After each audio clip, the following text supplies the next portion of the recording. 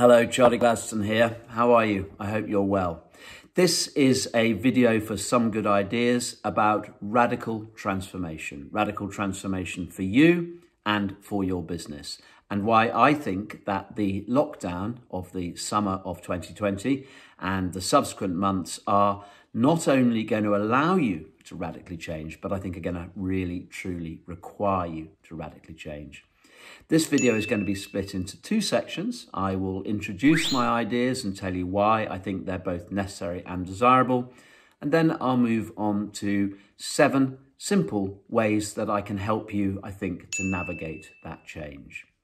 Before I start, I should just say that this is not going to be something of technical wizardry, this video, although I can do that. Look at that. It's filmed at home on my phone, and so please don't think that it's the news at 10 or a Sky TV production. However, I do hope that there are some interesting lessons here for you.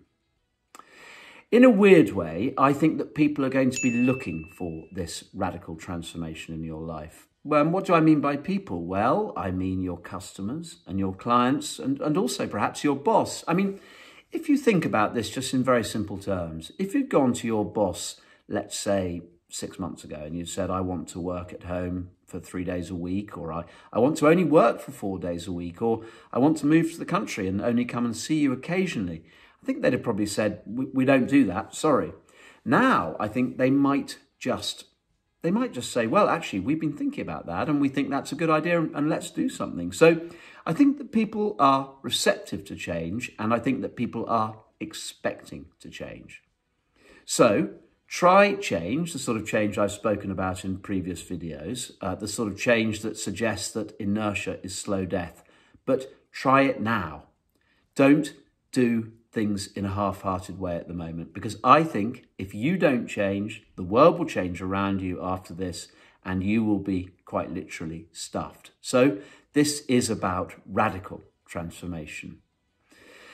Right, I just want to talk very briefly about uh, the idea of Tiananmen Square and the change in the protests this summer there. Now, for 31 years, or for 30 years, since 1989, the protest has followed very much the same form every year. And this summer, for reasons uh, attributed to coronavirus, the Chinese authorities have said that the protest can't happen. Now, rather than simply thinking, oh dear, we can't do the process this year, let's have a year off, what the people who organise them have an opportunity to do is to say, how can we completely refresh this? How can we make this something new? Let's think about this in a new way. And I suspect they'll come up with something that will become a global phenomenon as people are able to engage with it and their anti-establishment protest moves into the 21st century. So that's the kind of thing I'm thinking about. First lesson is very simple. Now is the time. Don't delay. Not next month, not next year. Act now. This is your opportunity. It's right in front of you. It really is. The second lesson is that I'm seeing this as the equivalent of a factory reset. That's the moment when you press the button on your phone and everything disappears and you think, yikes, it's all gone. But of course, in reality, it hasn't gone because when the phone wakes up again, you've got the same remarkable bit of kit, this extraordinary phone, this hardware, and outside the phone, up there in the ether or wherever it exists, you've got all of this amazing software, this beautiful, extraordinary software. So if you think of yourself as the hardware, albeit maybe a bit scuffed like me, or the uh, and your opportunity as the software, then you have a good view as to why you should press the factory reset button on your life. This is the opportunity to totally refresh. You will have the same fantastic hardware, you, you'll have the same beautiful software, all of the opportunity that exists in the world, whatever that should be. So think of this as a complete factory reset. Lesson three, fear. Now, a lot of us are very frightened of change and I fully recognise, although I'm someone that loves change, that that is completely valid. But don't be frightened. If this change that I'm talking about, this radical transformation doesn't work, you can, I promise you, go back to how things were. Having said that, I think if you do this properly, then everything's going to be all right. It's the half-heartedness that I've talked about earlier that I think will be the problem for you. So ask yourself, what is the worst that can happen? There isn't a great deal. And then move ahead and doing things really, really robustly.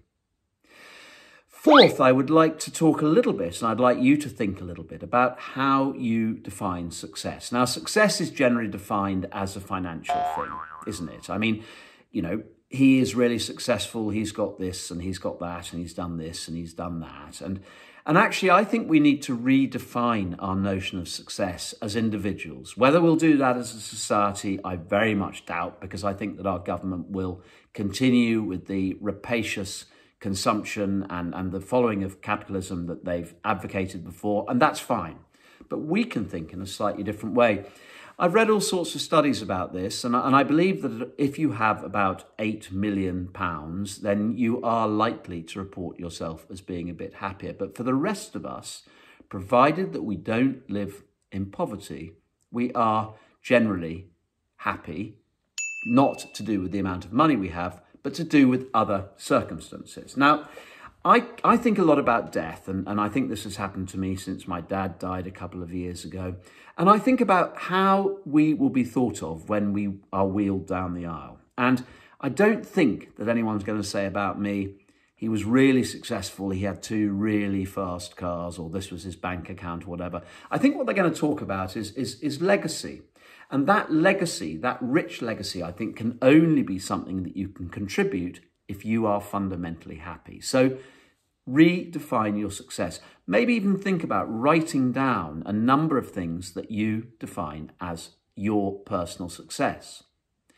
When I started Pedlars, I mean, I don't know, 25 years ago or so, and it became quite a big company, I thought for a time that that would make me really rich. And, and I pursued that. I genuinely did. But after a while, I realized that that just wasn't going to happen. And I started to think, why, why was Pedlars something successful? How could we redefine that?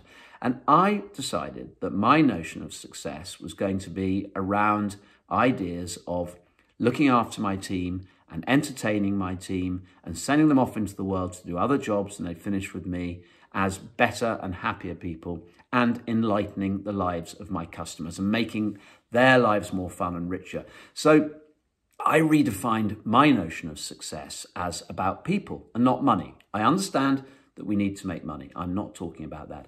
I'm talking about redefining our notions of success away from just being money. Lesson five, be really creative with your ideas. Don't be shy. Let your ideas flow. I mean, I think, I think a lot of us are really quite scared about expressing ideas in case people mock them.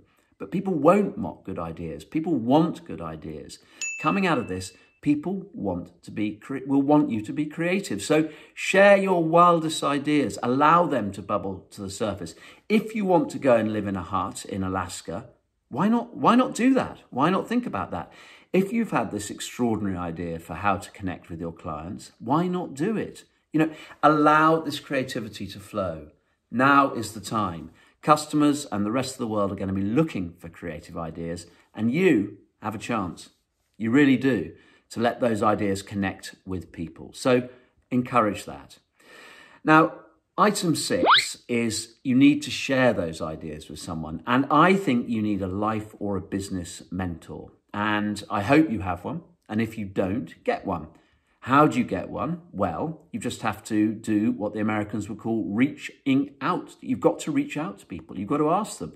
I get a lot of people asking me to mentor them. And the interesting thing is that I actually very rarely say no to people who I think I can help. I mean, I, I don't pretend that I can help them in a huge way, but I think that through a phone call or a couple of meetings, I probably can help them. So don't forget when you're asking people to mentor that it might be interesting and illuminating to them as well as to you. So it's a two way thing. So ask people, get a mentor, share those ideas, don't be shy, embrace wild ideas. Finally, for this, item seven, be bold. Act now. Do it. Please do it because there won't, I promise you, be a better chance. When this is all over and the dust settles down, whenever that is, we will go back to being entrenched and conservative. And now we have an opportunity to reinvent our lives and that of our customers. So that's it. I've run just over 10 minutes. This is, of course, short. If you want to discuss this with me in any more detail, do email me. You can find my email address on charliegladstone.com or you can message me at Chaz Gladstone on Instagram or whatever. Um, I'd love to talk further. Thank you very much for joining me. Make the change, be radical. See you soon. Bye.